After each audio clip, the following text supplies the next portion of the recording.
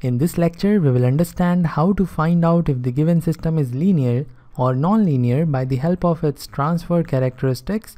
So it's important to understand what do we mean by transfer characteristics and how it is different from signal graph. From signal graph, till now we have seen only signal graphs and we already know in case of signal graphs, we plot the variation of output with respect to the independent variable which is usually time.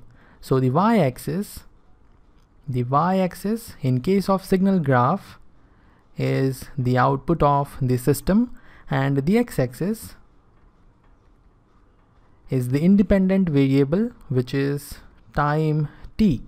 In our case, in case of signals and systems, the independent variable is usually time because signal is the variation of electrical quantities like voltage and current with respect to time. So we know about the signal graph, but what about transfer characteristics? All the four plots here are transfer characteristics of four different systems. Transfer characteristics is the plot between the output and the input.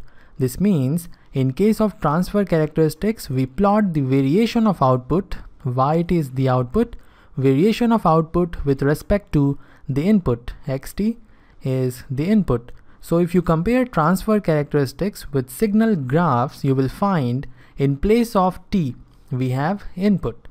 And by using this, we will try to comment about the linearity of the system. And in the first problem, which is problem number 17 till now, we have a straight line. So we will first try to obtain the equation of the straight line and we already know how to do this. I have explained this many times in analog electronics as well as signal and system. So I will directly write down the equation. I will use the form y equal to mx plus c. y is equal to yt. I will follow the notation we are using yt. m is the slope and to find out slope, you need the values. Here values are not given and while checking the linearity of the system, the exact value of slope is not required. So don't waste your time calculating the slope even if the values are given. For example, here we have 4, here we have minus 2.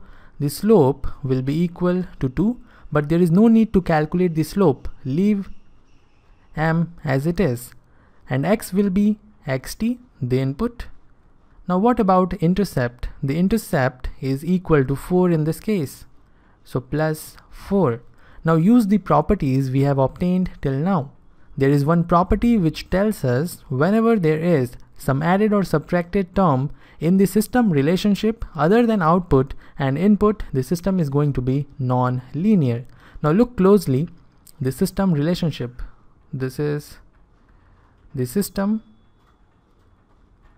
relationship we have obtained from the transfer characteristics. In this yt is the output, mxt means m is the coefficient and xt is the input. So we have the output and input terms but other than them we have 4 also which is the added term and whenever there is any added or subtracted term in the system relationship other than output term and the input term, the system is going to be non-linear.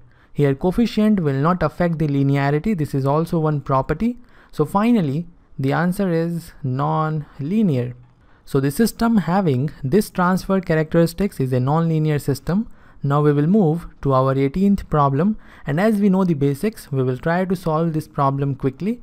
Here we have a straight line again and the straight line is passing through the origin. So the intercept C is going to be 0. The slope of the line is negative and let's assume the magnitude is equal to 1.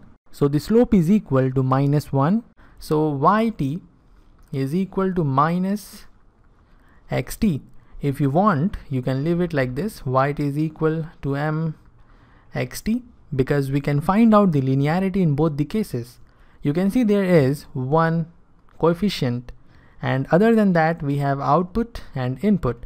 And we already know the coefficient will not affect the linearity. So the system is going to be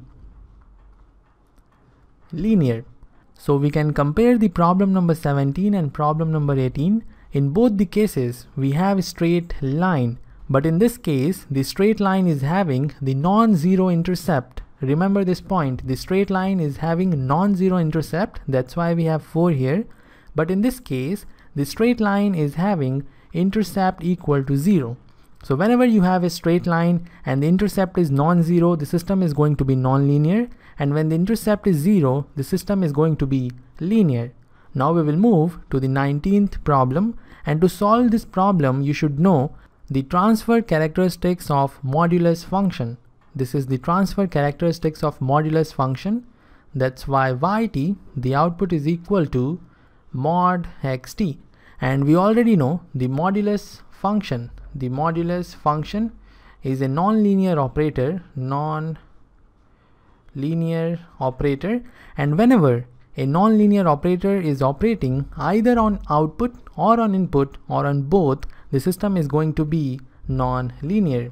So again the system is non-linear in problem number 19 and in problem number 20 we again have a specific transfer characteristics.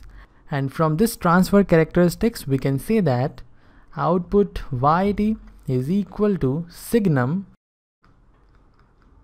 xt. And signum function is a non-linear operator. Therefore the system having this characteristics is a non-linear system. So this is all for this lecture. I hope you now understand how to find out the linearity of the system when the transfer characteristics is given. And this is all for linear and non-linear systems. From the next lecture, we will start the new classification which is invertible and non-invertible systems.